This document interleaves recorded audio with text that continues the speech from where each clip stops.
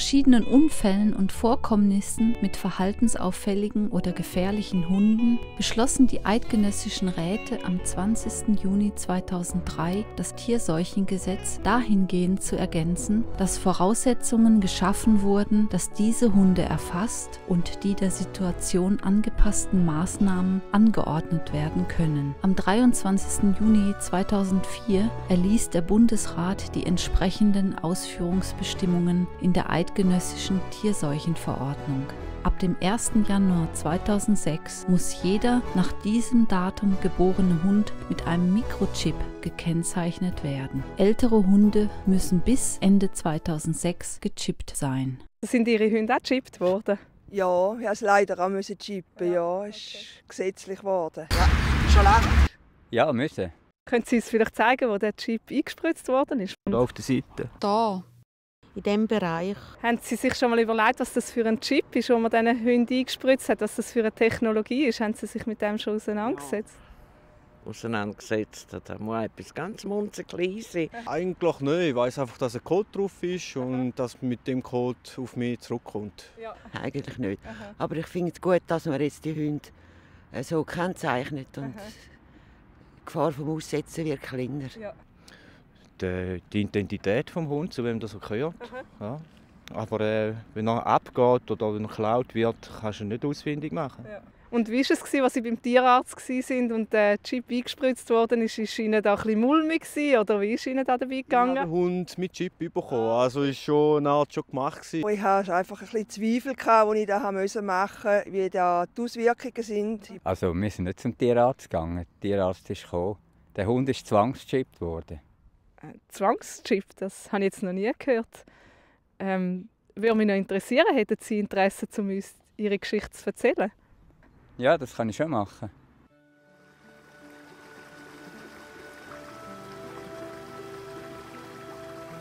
Eigentlich bin ich nicht so ein Hundeliebhaber.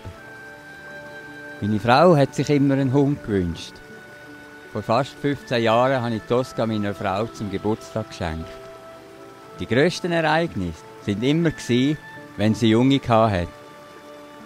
Die sind unherzig. 46 Junge hat sie gehabt. Ja, und während dieser ganzen Zeit haben sie sich dann nie mit dem Hundechip auseinandergesetzt. Es hat ja auch Leute gegeben, die ihren Hund schon lange freiwillig chippen lassen haben. Nein, nein, wir haben uns eigentlich nie mit dem Thema befasst. Ganz am Rand hat man mitbekommen, dass es Chip-Obligatorium, das heißt, dass es Pflicht wird. Auch in den Medien hat man eigentlich nicht viel darüber gehört. Erst dann, wo das Ultimatum näher gekommen ist, Ende 2006, haben wir uns dann genauer mit dieser Thematik auseinandergesetzt. Erst jetzt ist uns bewusst worden, wie weit fortgeschritten die RFID-Technologie schon ist und wie sie immer mehr Einzug nimmt in unseren Alltag. Das beunruhigt mich. Darum haben sie sich dann auch geweigert, zum Tosca zu chippen. Ja, wir haben beschlossen, mal zu warten und schauen, was passiert, wenn man den Hund nicht chippt. Anfang 2007 hat meine Frau die Hundemarke auf der Gemeinde lösen.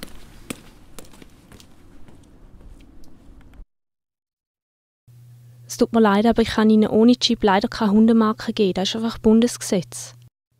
Aber wir haben uns jetzt so entschieden, dass wir unseren Hund nicht chippen lassen. Was passiert, wenn wir es nicht machen? Wie geht es dann weiter?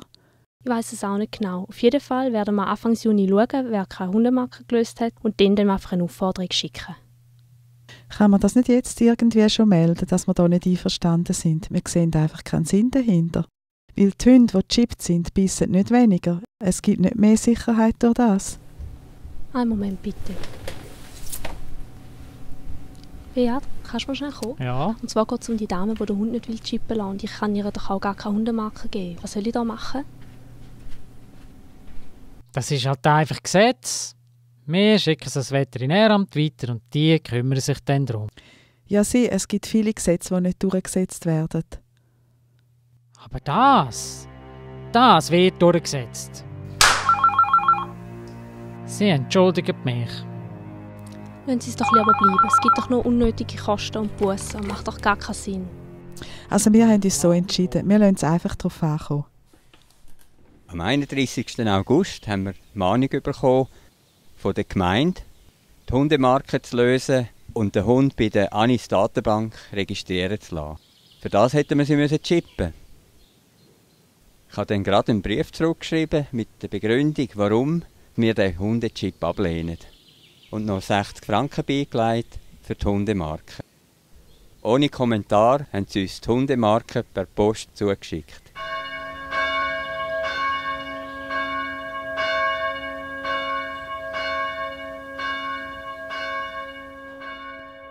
Sieben Tage später hat uns die Gemeinde beim Veterinäramt verzeigt und bereits nach drei Tagen haben wir schon eine Verfügung im Haus gehabt. Verfügung.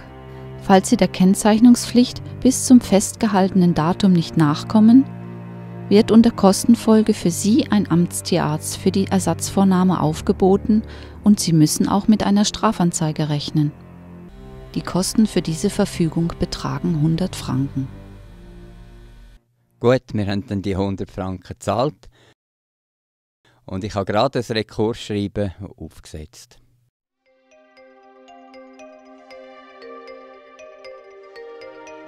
Dann alle Hunde müssen das machen, das ist so sinnlos. Geht einfach nicht. Die Leute sind nicht aufgeklärt. Sie wissen nicht genau, um was es geht. Das ist echt das Ziel. Steckt sicher mehr dahinter. Jeder Mensch mit einem Chip versehen und zentral vernetzt. So ein brisantes Thema wird kaum diskutiert in der Öffentlichkeit.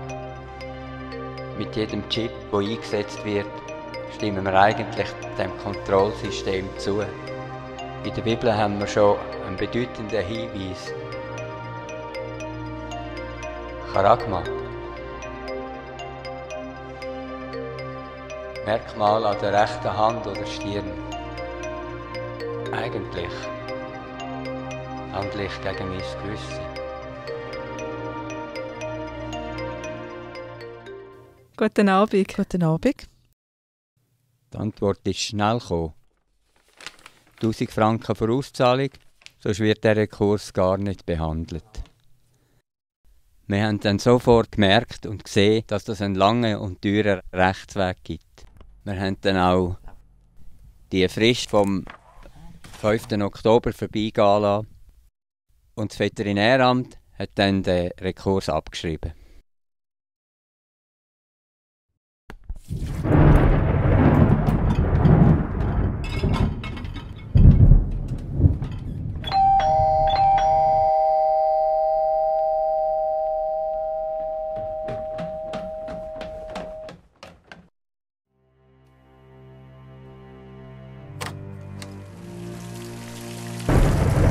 Herr Blöchlinger vom Veterinäramt mit einer Tierärztin sind unten gestanden.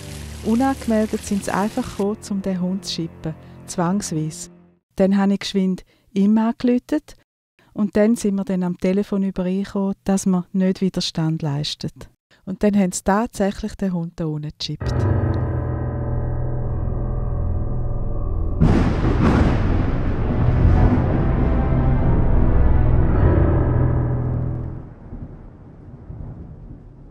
Also mögen Sie sich noch an den Schwarzhund in Rebstein erinnern?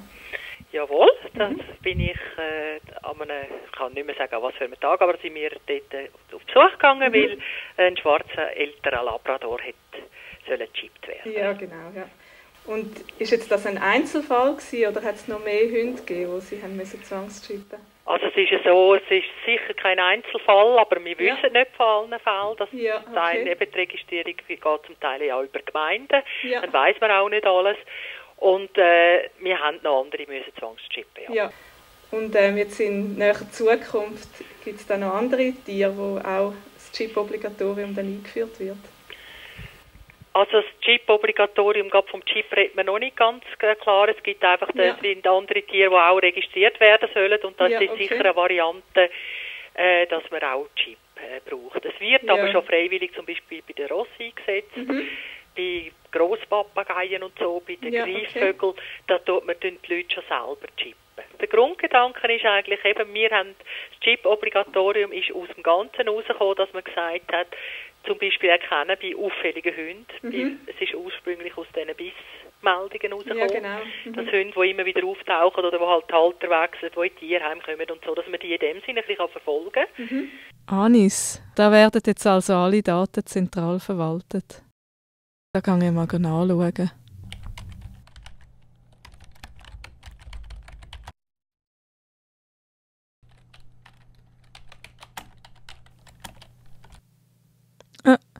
Ja, jetzt kommen sie da. Ah, schau jetzt. Und da sind alle Daten drin. Mit der Tosca und ihrer ID-Nummer. Mal schauen, ob ich noch etwas zu einem Hund finde, der gerade gechippt wird. Der Chip wird dem Tier mit einer Spritze eingeführt. Wie Sie sehen, ist das völlig schmerzlos. Das hat uns jetzt neugierig gemacht. Was ist das für ein Ding, das solche Emotionen hochkommen lässt? Was ist das für eine Technologie mit dem sonderbaren Namen RFID? Am Anfang steht der Chip. Er speichert Daten und sendet sie wie ein Radio über Funkwellen an einen Empfänger. Ein winziger Mikroprozessor mit einer Antenne. Es gibt aktive und passive Chips in unterschiedlichsten Bauformen für unterschiedlichste Anwendungen. Die passiven Chips benötigen noch nicht einmal eigenen Strom. Jeder Chip verfügt über eine Seriennummer, die es auf der Welt nur ein einziges Mal gibt. Auf diese Weise lässt sich ein Objekt oder ein Lebewesen eindeutig und ausschließlich identifizieren. War nun dieses Obligatorium für Hundechips eine eher belanglose, nur für wenige Leute bedrohliche Gesetzgebung? Oder steckt tatsächlich mehr dahinter? Könnte sie auch zur Identifikation von Menschen benutzt werden? Die USA und die EU haben bereits biometrische Pässe eingeführt, deren Informationen auf einem RFID-Chip gespeichert sein müssen. Auch in der Schweiz wurde ein solches Gesetz eingeführt, gegen welches das Referendum ergriffen wurde. Am 17. Mai 2009 wird es eine Volksabstimmung geben. Und haben Sie sich auch schon mal überlegt, ob vielleicht der Chip auch beim Menschen eingesetzt werden so wie er jetzt bei den Hunden eingesetzt wird? Nein, das finde ich sehr gefährlich. Ja, okay. oh nein, das würde ich jetzt gerne gut finden. Aha. Da ist Privatsphäre, da ja. ist geht zu weit. Ja. Ich finde grauenhaft. Aha. Nein, um Gottes Willen. Ja. Wir haben schon genug Vorschriften, ja, oder? Genau. Wir müssen uns noch chippen, dass wir genau wissen, wo wir sind, oder was? Genau. Nein, nein, nein, nein, nein, auf keinen Fall. Ich würde mit, da mit Händen und Füßen dagegen wehren. Nein, nein. Das ist ganz klar. Das kommt auch. Ja. Irgendwann kommt es. Ja. Totale Kontrolle. Ja. ja, eine will irgendwann alles haben. Ja, ich habe mir das schon überlegt, aber also, ich hoffe es nicht, ja. nein. Und Sie wissen, dass das schon gemacht wird? Also, wissen Sie nicht, ja. Also es ist jetzt schon so, dass, ähm, dass es sehr viele Menschen gibt, die schon gechippt sind, ja. Die amerikanische Food and Drug Administration befürwortet die Nutzung von unter die Haut gepflanzten RFID-Implantaten für das Management von Patientenakten. Es ist geplant, in England alle 31.000 Polizisten der London Metropolitan Police mit einem RFID-Implantat im Oberarm auszustatten. Im Namen der Sicherheit können sie sich nicht mehr unbeobachtet fortbewegen. Und das rund um die Uhr. Auf jedem Gebiet wird uns der unentbehrliche Nutzen dieser Technologie eingeredet. Sicherheit und Terrorbekämpfung, medizinische Sicherheit, Zahlungssysteme. Was wird denn naheliegender sein, als dieses Wunderding, ausgestattet mit all den nützlichen Funktionen, allen Menschen direkt unter die Haut zu implantieren? Vielleicht so unfreiwillig wie bei Tosca? Es ist bequem und sicher, wird uns eingeredet. Aber ist es zulässig, dass mit dem Vorwand von der Sicherheit eine ganze Menschheit durchsichtig gemacht wird? Totale Kontrolle heißt auch totaler Freiheitsentzug. Wir verlieren alle Recht. Plötzlich haben wir nur noch die Möglichkeit, mitzumachen oder halt aus dem gesellschaftlichen Leben ausgrenzt zu werden. Schon die biblischen Prophezeiungen haben davon geredet, dass das bis zum Töten führen kann. Wenn wir meinen, Regierungen würden so etwas nicht machen, dann sind wir jeglicher Realität entfremdet.